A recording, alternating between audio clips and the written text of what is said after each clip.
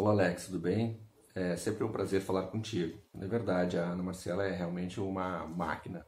Digo mais, a Angélica e a Maria também. Sabe, foi um privilégio receber elas aqui, bem como os treinadores, o Fernando, o Rui e a Luísa Domingues. Foi muito bacana mesmo.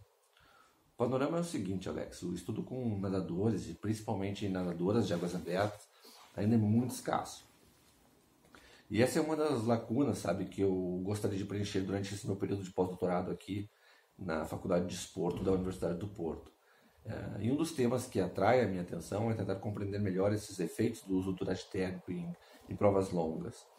A estrutura que nós temos aqui à disposição na Universidade do Porto, no Laboratório de Mecânica, ela nos possibilita realizar avaliações como esta ou ainda bem mais complexas o líder do nosso grupo, o professor João Paulo Vilas Boas, ele nos dá todo suporte, sabe? Todo suporte necessário para que possamos atuar uh, tentando encurtar essa distância entre ciência e prática.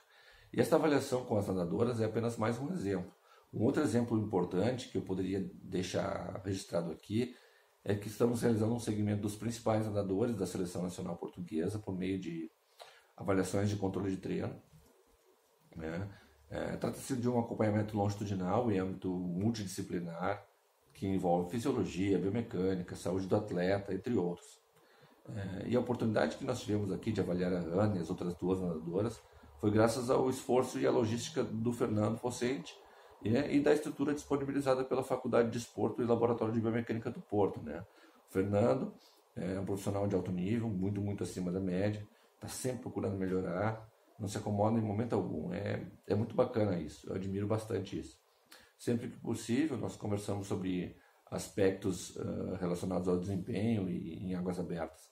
Eu fico muito honrado, porque é um privilégio né, tê-lo por perto aqui, Alex, e poder ajudar de alguma forma ele a alcançar os objetivos dele, da Ana e dos outros atletas.